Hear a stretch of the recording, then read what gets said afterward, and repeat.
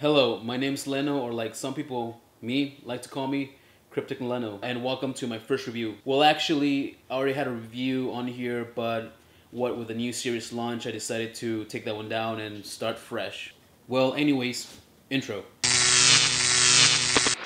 The album that I'm going to be reviewing today is uh, was released at least two months ago. Um, it's called uh, entitled "The Carnage Ending" by Sinister.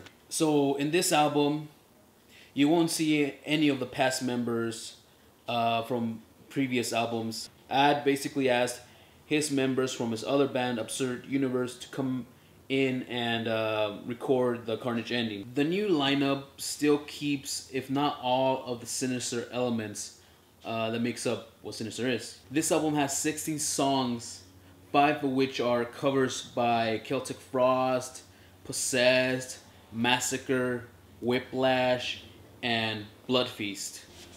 According to some sources, this album picks up where the Silent Howling left off, and I've heard the Silent Howling, and it's a really good uh, album. The Carnage ending is a pummeling, savage death metal assault filled with good, solid riffs, incisive solo leads, uh, with the occasional melody to break down the monotony. It has some keyboards um, yeah, to you know add some atmosphere to some songs, uh, the darker ones, but but nothing too crazy. In my opinion, this album sounds like uh, some old school death metal out of the '90s. Old school. The tracks that are more memorable for me are um, Transylvania, City of the Damned, because uh, of the good riffs uh, and the whole atmosphere of the song regarding the imagery for its potential to make your head bang. Defamatory content because after the intro, the the sound is very old school, which I really really dig. And my favorite song on the album, which so happens to be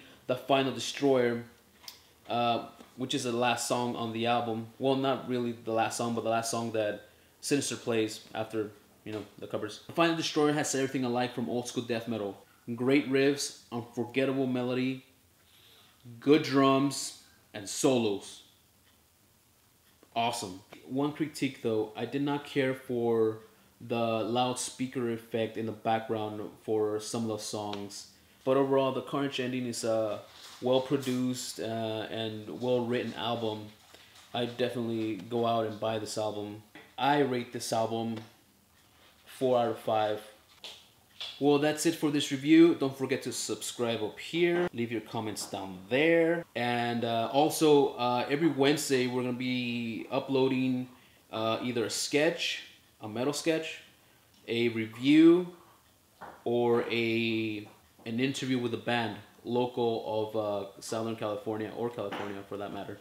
If you guys want to participate in, in this, uh, I'm going to, for every review that I do, I'm going to start saying uh, lyrics, and what I want you guys to do is try to guess the name of the song and uh, which band it's from.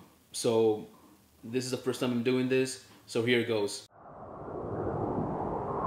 Just what I saw in my old dreams.